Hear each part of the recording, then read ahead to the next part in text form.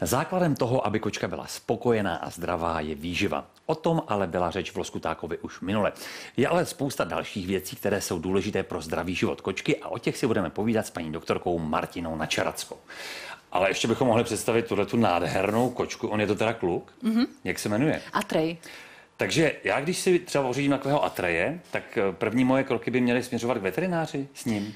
Ano, protože bohužel to, že si pořídíte kočku, ať už od chovatele nebo někde přes inzerát, není zárukou toho, že bude zdravá, i když vám to řeknou.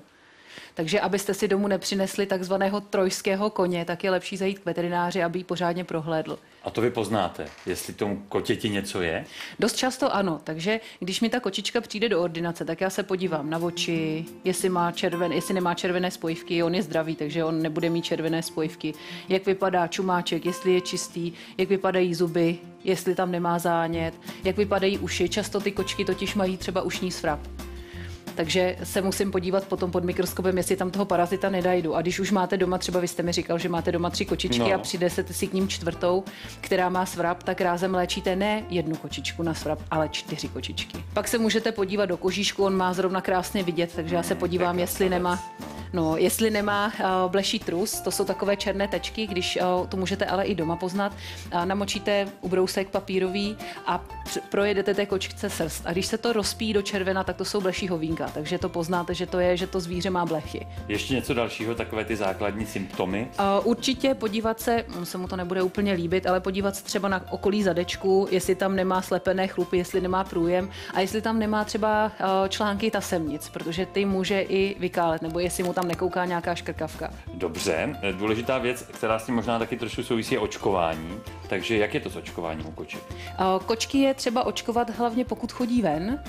A když jsou pouze doma, tak po základní kombinaci, kdy přijdou jednou a za tři týdny znova, je potřeba očkovat už jenom jednou za tři roky, podle nových doporučení. Kočka, která chodí ven, by se měla očkovat jednou ročně.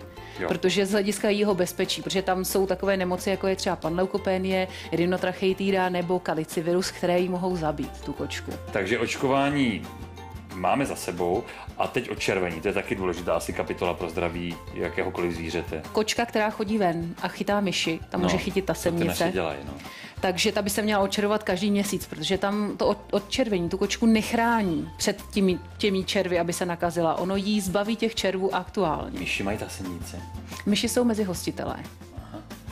Takže každý měsíc je kočka venku. Když chodí ven, tak by měla být správně odčervená v případě, že vy chcete být v bezpečí, abyste od ní nic nechytil. Pokud tu kočku nechcete každý měsíc odčervovat, tak musíte ale dávat pozor na to, jak šaháte na její trus, protože když má třeba doma záchudek, tak když ho čistíte, tak opravdu si umít ruce. A když máte pískoviště, na kterém si hrají děti, tak ho zakrýt, aby na něj nemohly kočky chodit na záchod, protože to je další, další věc. Nebo uh, na zahrádce máte salát, tak ten taky je potřeba pořádně umít, protože i tak můžete chytit parazity od koček. Mm-hmm. Když tedy, ať už máme kočku doma, indoorovou nebo outdoorovou, eh, jak sami můžeme přispět k tomu, aby eh, ta kočka byla zdravá a v pořádku nějakou svoji v úzovkách domácí péči? Určitě, eh, na co já dávám velký důraz, je kontrolovat jí každý den tlamu a čistit zuby. A co tomu říká?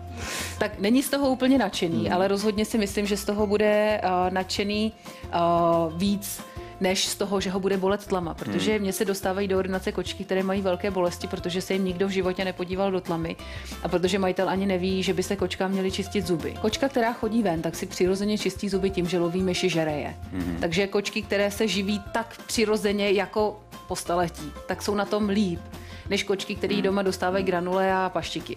A co dál? Teda čištění zubů? Čištění zubů. V podstatě, co je pro kočku další základ, tak je krmení. Musí být kvalitní. Já vím, že jste se o tom bavili minule, ale bych ráda zdůraznila, že kočka je obligátní masožravec. Hmm. A bohužel na trhu je spousta krmiv, které jsou přesně obráceně, že mají samé cukry, samé zrní. A když se ta kočka tímto způsobem krmí, tak na to dojede a skončí jako tady ta chuděrka obézní s cukrovkou. Ještě nás něco napadá? Určitě je potřeba kontrolovat, jestli kočce neteče z nosu, neteče jí z očí a jak se chová, protože třeba takové změny chování u starších koček, jako nevyskočí si už na gauč nebo pohybuje se pomalej, znamenají, že má artrózu. A to je nemoc, o které se u koček vůbec nemluví a přitom starý člověk je vám jasné, že bude trpět artrózou, ale kočka, které je třeba 15 let, tak o té si to nikdo nemyslí a přitom jí od rána do večera bolí klouby. Říká se, že kočka má devět životů, ale to se opravdu jenom říká. Proto bychom neměli podceňovat péči o její zdraví. A jako vždycky, nejdůležitější je prevence.